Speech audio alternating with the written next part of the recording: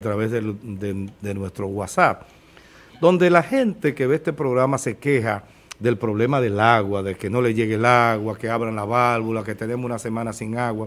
Precisamente está con nosotros eh, a través de la vía telefónica el director del INAPA. César del, Martínez. Del Instituto Nacional de Aguas Potables y Alcantarillado de San Francisco de Macorís, César Martínez. Así es que, buenos días César, ¿cómo estás? Muy buenos días a ustedes, todos los panelistas, y muy especialmente al pueblo de San Francisco de Macorís. Cómo no, gracias. Te hemos llamado porque queremos que tú nos dé una, una respuesta, César, a esta situación de queja de la población franco-macorizana con relación al tema de la llegada del agua. Explícanos qué está pasando. Sí, gracias por eh, hacerme la, la invitación. Queremos informarle a la ciudadanía y a todo el pueblo en general de que han habido dos factores que han influido en que el, la deficiencia en el servicio haya mermado. Y eso se debe a que en primer lugar estábamos colocando tres nuevos motores en la planta de Cenoví. Como ustedes sabrán, el acueducto de San Francisco de Macorís cuenta de dos partes. Un acueducto viejo de Cenoví y el acueducto nuevo de aquí de la parte alta. Entonces, eh, la semana pasada concluimos con la instalación de esos dos motores, gracias a Dios ya no vamos a tener, por esa parte no vamos a tener muchos problemas, porque cada rato salíamos fuera de servicio por, la, por un equipo de eso. Pero ahora se nos ha presentado un equipo en la parte norte, o sea, donde decimos casualmente los, el tanque de los chivitos, que ahora es un motor, es un, un, equipo de eso que ha salido de servicio, pero ya estamos haciendo trámites. Creo que hoy llega de Santo Domingo, o mañana temprano, para ver si lo instalamos y podemos restablecer el servicio lo más pronto posible. ¿A dónde?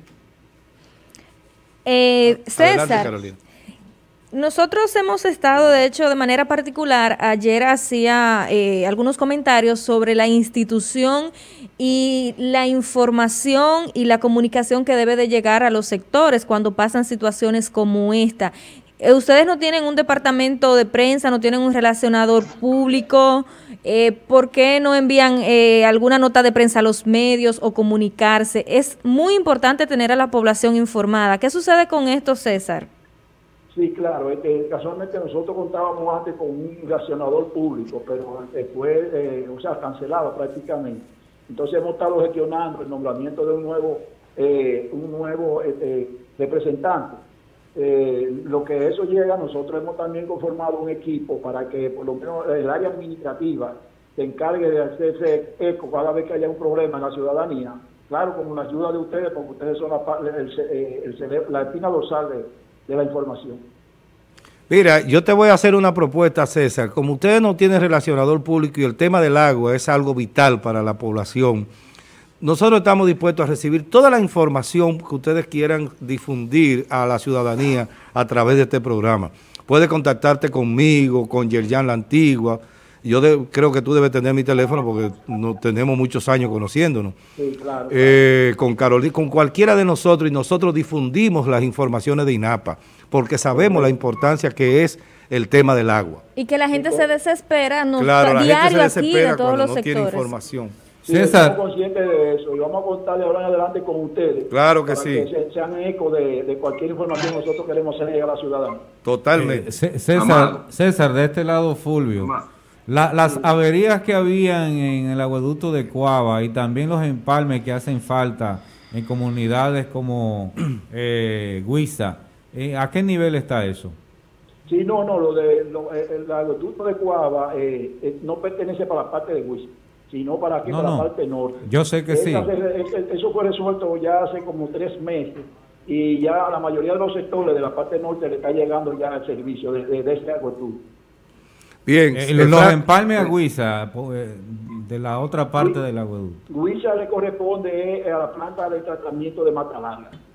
Eh, ahí se estaba, eh, se estaba haciendo, o sea, se terminó de con, con construir un acueducto pequeño para esa zona ya fue puesto en, en, servicio. Todavía tenemos deficiencia en algunos sectores que no le llega, pero eso ya ahora lo vamos a controlar con válvula. Por eso tiene que ser con válvula, porque debido a que el terreno es muy, tiene demasiada pendiente, entonces tenemos que controlarlo con válvula. Bien, eh, Francis, Francis, a ver si tú oyes a Francis, César. César. Sí. César Adelante. Buenos días. Eh, Francis Rodríguez. Mira, eh, un problema que tengo yo administro unos edificios en Alto de la Javiera ahí no llega el agua. Y ustedes están conscientes de que no están mandando el agua. ¿Qué va a pasar con ese sector? No escuché bien a Francis. ¿Podía repetirme la pregunta? Mira, Francis, lo que pasa es que Francis está en su casa vía, vía Sky. Lo que él pregunta es que en, el Alto de la Javiela, en un lugar, en unos edificios que administra su oficina, no llega el agua y en la Javiela no llega el agua. ¿Y qué van a hacer con, esa situación de la Javiela? Es lo que pregunta Francis. Sí, no, ellos llegan. Lo que pasa es que debido a los problemas que hemos tenido últimamente, este, el servicio se ha visto acortado por toda la zona prácticamente. Pero que tan pronto estos motores, como le dije, del acueducto nos que tenemos de, nuevo, de la parte norte se han resuelto, te va a llegar el agua. Ok, ¿qué dijiste, Francis, que para repetirla? Que no llegue el agua y NAPA me ha dicho que ellos están conscientes que no llega. Ok, dice el César que no llega el agua y que en INAPA le han dicho que ellos están conscientes, o sea que ustedes están conscientes de que el agua no llega allá. Si es que hay algún problema para tratar de buscar una solución. Eso, es debido a que no teníamos eh, la presión suficiente para que le llegara el agua allá, pero que ahora, como le repito, eso puede ser que se solucione ahora, no inmediato. Vamos. ¿Cómo no? Bueno, eso esperamos. Bueno, si no hay más preguntas, gracias. ayer ya tendrá preguntas. No, no. pues yo sí le tengo una, ah, Amado, eh, César, que también nos han estado denunciando que el agua está, ha estado llegando en, en algunos sectores como la urbanización Brugal. Inestali 1. Inestali 1, marrón, o sea, con un nivel de contaminación importante.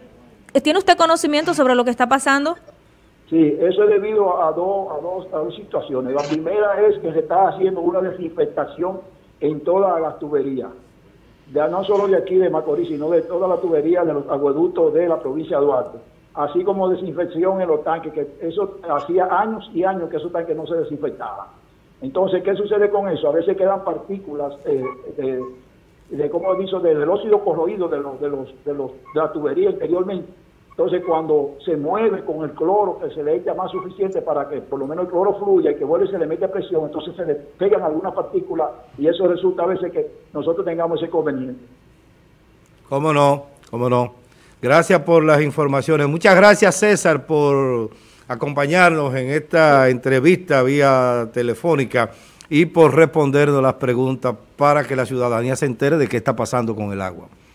Muchas gracias. Nosotros Continuamos con más contenido del programa. Era, señores, César eh, Martínez, director del Instituto Nacional de Agua Potable y Alcantarillado Ginapa de San Francisco de Macorís.